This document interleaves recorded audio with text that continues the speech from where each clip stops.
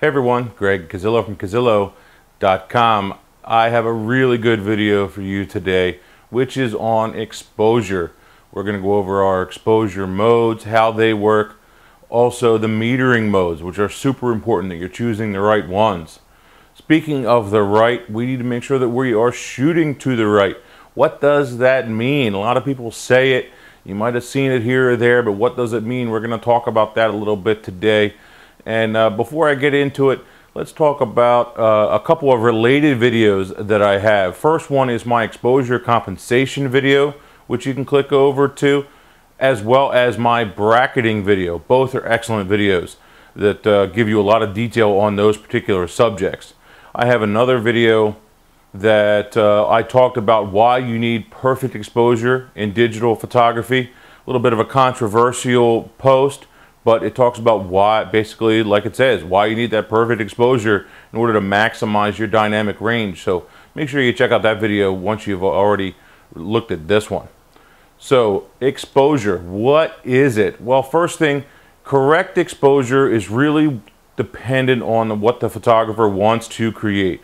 If you want to create something that's underexposed by five stops, and then you want to take it into Photoshop and you want to do all kinds of funky stuff to it and you want to make it really noisy, then you know what? That's your uh, that's that's what you want to create. Then you know what? That's fine. That that's great. That's the great thing about photography is is that everything can everyone can create something different.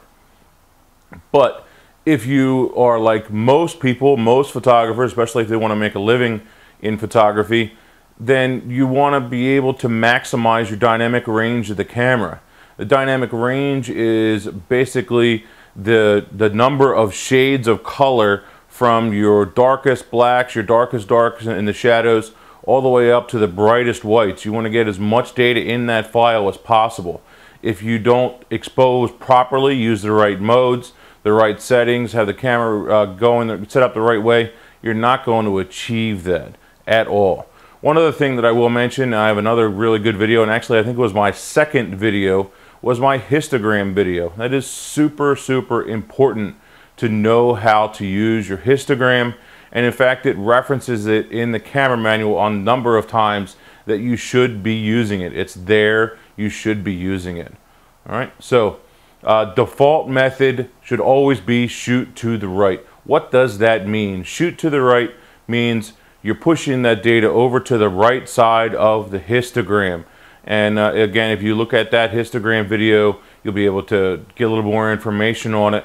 What happens is, is the data is in a graph, and that graph then shows you where it's at. You don't want a flat spot on the right side of the histogram. That's typically bad, so you want to try and stay away from that. Overexposure is when you have that data pushed way too far over to the right side. You are clipping highlights, you're removing data, you're losing data in your brightest whites. That's a bad thing, obviously, unless that's what you want to create. But for the most part, we're going to talk about the normal exposures, the normal pictures that we want to, uh, will be creating. So uh, overexposure, that's typically bad. And again, you're going to be losing data in the whites the opposite side of that is underexposure. You're going to have that flat spot on the right hand side instead of the peak. The, high, the overexposure is peak on the right. The underexposure is flat spot on the right. And so that's where you're actually underexposing by one, two, three, four stops. And then when you go to compensate for that, you actually end up bringing that exposure slider back over and you end up with more noise, more grain than you know what to do with. And that is a bad thing. You end up losing dynamic range which means you don't have as much data, as much color, as much saturation than you would like in the photo. So we just learned what over and under exposure do and how they can be bad for our photos. So let's start programming our camera with our exposure modes. First thing we'll learn is not to use program mode. I think that's pretty obvious as to why. The camera is going to make all the decisions for you, which is not a good thing when you're trying to learn your photography. Bad, bad, just stay away from it, don't use it. Simple, end of subject. Next one, shutter priority. Shutter priority is when you set your set your shutter speed. Set, yeah, that's it. set your shutter speed, and then your aperture will automatically go up and down depending upon the amount of light. And so you can use that once in a while. Not a big fan of it. Uh, what I actually prefer to do is to use the aperture priority mode and then um, that way I can control my depth of field to get my shallow depth of field, separate my subject from the background, and then I can take my uh, ISO and raise it high enough to make sure that I don't have a problem with a slow shutter speed, especially if I'm shooting some kind of sports. So that's typically my method, and you might try it out if it works out for you. Uh, I'm just not a fan of shutter priority, so I rarely use it. Next one is manual mode. Manual is just that, full manual. Uh, you set your shutter speed, you set your aperture, and by the way, through all of these modes, you should also be setting your ISO. That is very, very important not to use auto ISO, and here's a video explaining why. Next, we need to talk about metering. How does that metering thing work? There are three primary metering modes that you need to understand. And so the first one is your matrix metering or evaluative. I can barely say that sometimes, evaluative in the Canon. So in that matrix mode, that camera is actually taking into account everything in the viewfinder. And so that's a good thing most of the time. even says in the camera manual that most situations you should be using evaluative or matrix, whichever one. So that is the way you want to go. Most of the time, you should be on that matrix mode. Pro I say probably at least 90%, maybe even more, you should be on that mode. All right, the next one is center weighted. Center weighted metering, what it does is it takes a variable size circle in the middle of the viewfinder to determine exposure.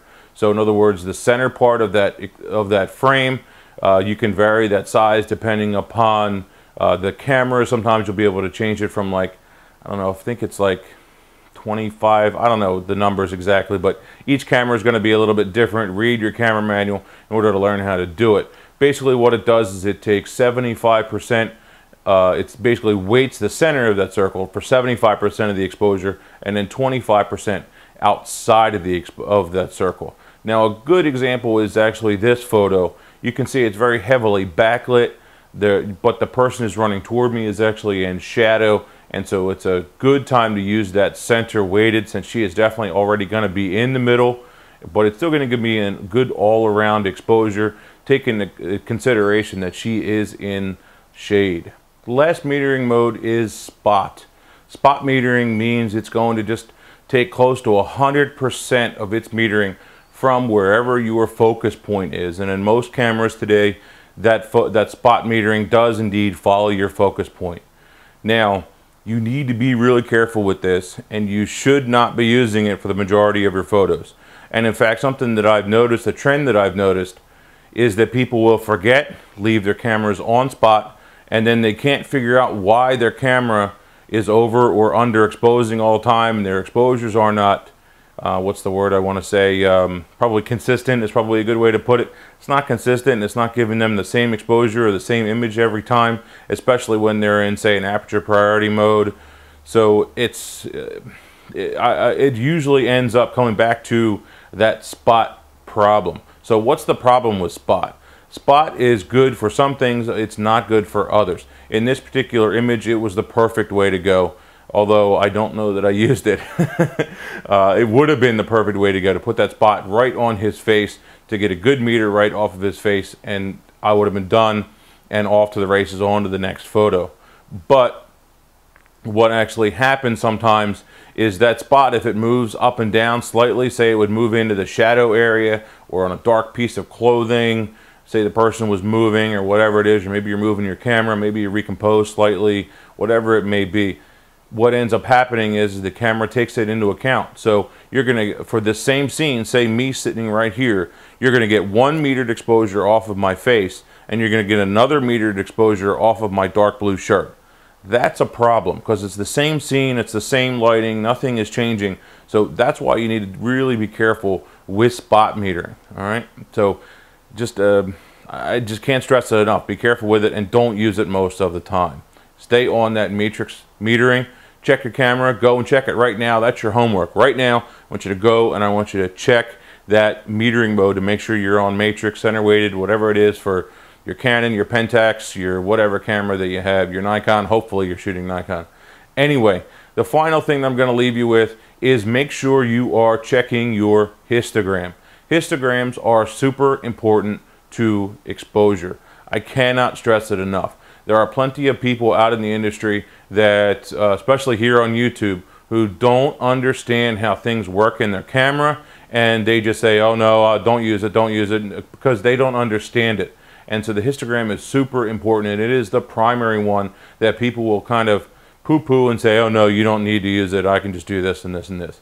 Well, no, you need to use it. And the reason being is, the number one reason is that it's going to give you optimal exposure. It's the only thing you're, you're going to be able to really tell 100% to know whether that exposure is right or whether it is wrong. Because when you're outside, you look in the back of your screen, just like the screen on your phone, it's tough to really see it. Versus indoors, it might look better, it might look perfect. That same exposure might look absolutely perfect.